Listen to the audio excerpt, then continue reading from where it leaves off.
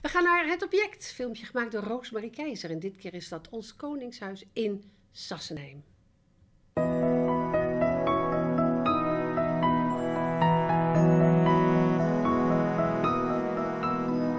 Wij staan hier voor het oude koningshuis dat zijn naam ontleent aan koningsstadhouder Willem III.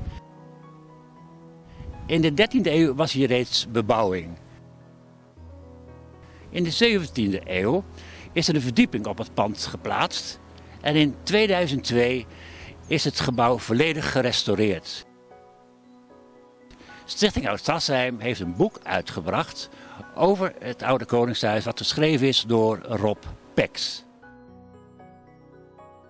Mijn naam is Alfred Pop, voorzitter Stichting Oud-Sassenheim.